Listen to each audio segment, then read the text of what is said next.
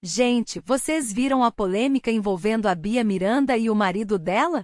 A influenciadora, que é neta da Gretchen, anunciou nas redes sociais que estava se separando do Gabriel e acusou ele de ter roubado o carro dela e de ter sacado 20 mil reais da conta bancária dela sem autorização. Além disso, ela também disse que ele a maltratava e que chegou quase a agredi-la em uma discussão recente. E o mais surpreendente é que agora o Felipe Campos, que é um apresentador de TV conhecido, comentou a situação e detonou a Bia Miranda. Ele disse que ela já tinha dado indícios de que o casamento não estava indo bem, mas que preferiu expor tudo na internet para ganhar mais visibilidade e engajamento nas redes sociais. Além disso, ele questionou a veracidade das acusações de roubo e disse que a Bia poderia estar mentindo para prejudicar o ex-marido. Enfim, a situação está dando o que falar e dividindo opiniões. O que vocês acham disso tudo? Fala pra gente nos comentários. Antes de irmos para o vídeo. Já vai deixando o seu like, inscreva-se no canal e ative o sininho para não perder nenhuma notícia. Vocês sabem realmente de quem eu vou falar, da própria Bia Miranda, né?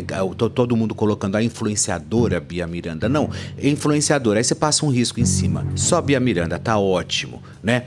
E aí o que acontece? Acontece que ontem, né, no finalzinho da noite, começou uma movimentação ali que a Bia Miranda havia se separado em, a, a então do esposo, né? E foi uma matéria exclusiva do Adriel Marques lá do In Off, do nada pulou, já era quase meia-noite, pulou na pum, né? Falei, nossa, mas o que, aconteceu?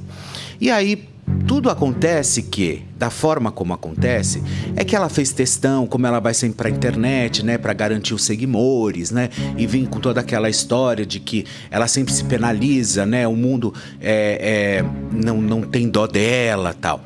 Acontece o seguinte, sabe o que eu acho dessa história toda? Isso era óbvio que não ia dar certo. Tava na cara que isso não ia dar certo né?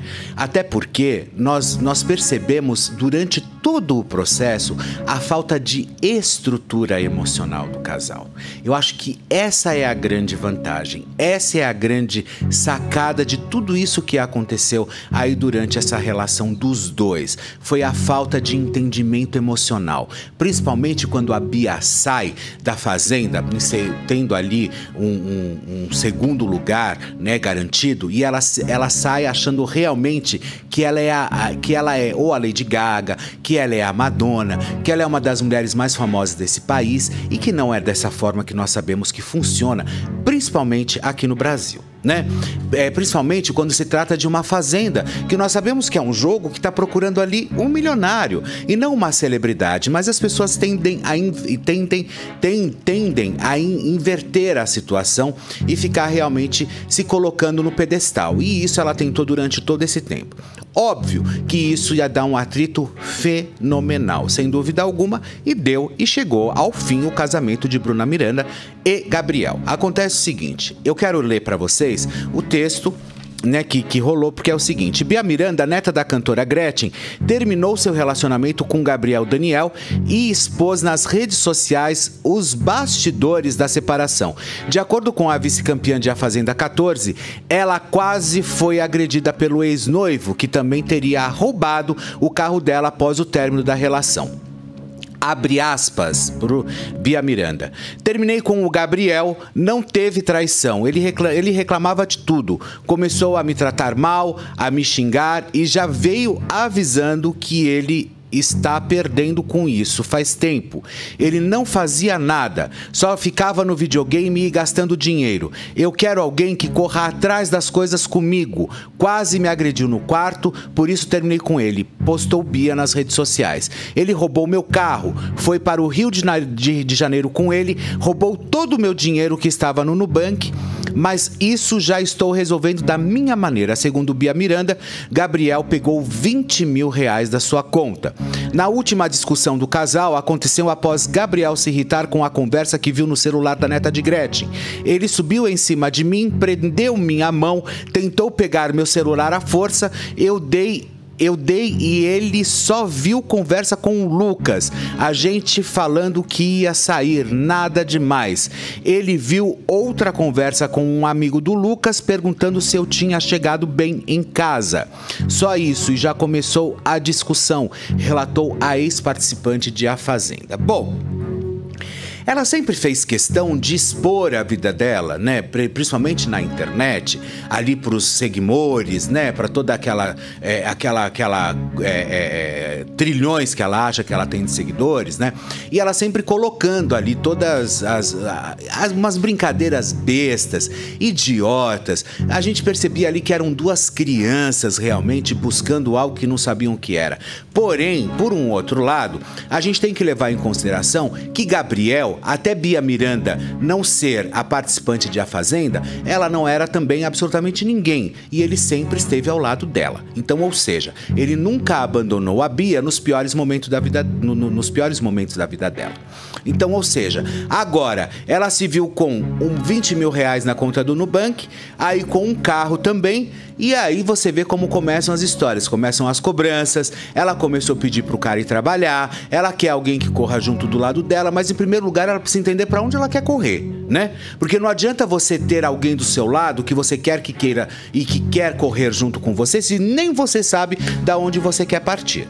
Então eu acho que em primeiro lugar essa menina precisa colocar muito bem a cabecinha dela no lugar, parar de ficar dando corda pra, pra atitude de internet, coisinha de internet, em ficar bem os pés dela dela no chão e tentar buscar realmente alguém que possa fazer alguma coisa na vida dela ou ela mesma se reinventar e tentar buscar alguma coisa para que ela seja, sem dúvida alguma, alguém nessa vida e não simplesmente ficar vivendo de barraco na internet, xingando os outros, fazendo as, as postagens que ela faz, insultando as pessoas, que é isso que ela sabe fazer também, ou então provocando os outros, mandando indiretinha para os outros. É isso que ela faz na internet o dia inteiro, ou vocês não sabem, ou quem sabe realmente acompanha mãe sabe daquilo que eu estou dizendo.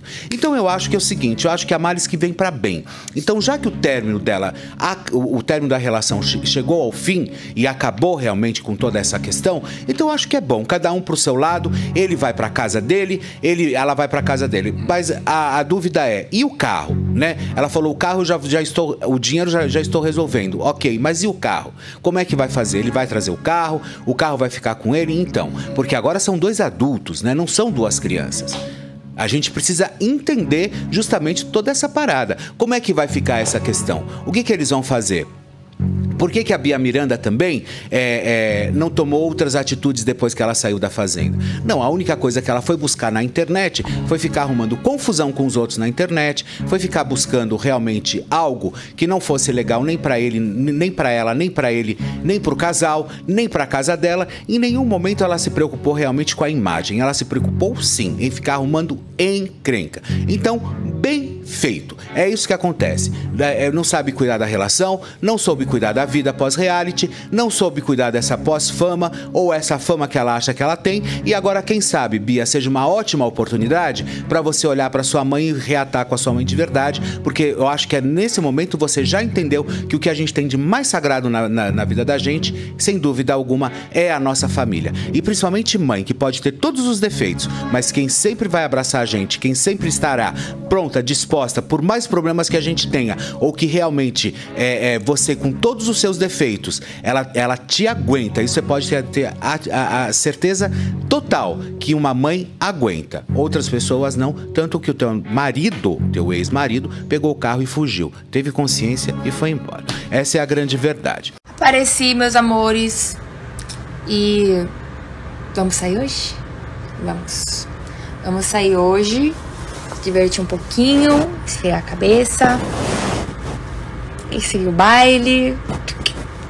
Que a mãe tá solteira! Não! E ó que me arrastou pro erro de novo. Você sabe que você tá errando a semana inteira, né? E você, filho, tá não? Faz os jobs? Fala mesmo. Ah. Não tem pra parar a língua, não. Como é que é?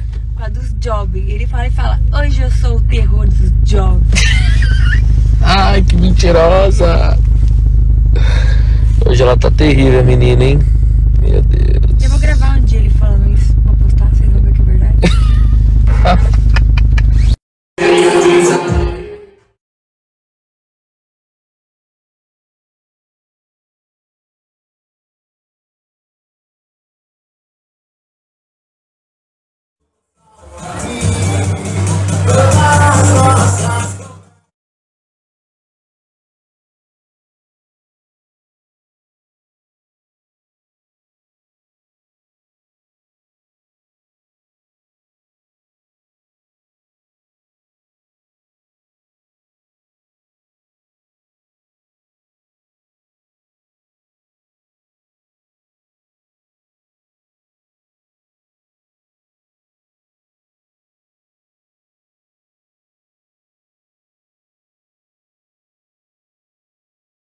Aí saiu do banho, vem andando. Vou postar agora.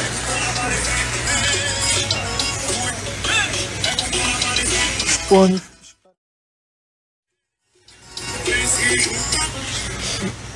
Os caras onde fica? Desse jeito, cara. Eu não tenho mosquito não, hein? Aqui nem, nem mos- aqui não é mosquito, não. Aqui é marimbondo,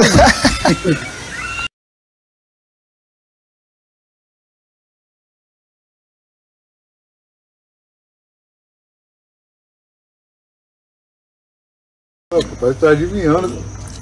Tá Estamos aqui batendo rango. Lipão descendo o queixo. Sempre. Esse dali é o Pelé. O dele é Pelé.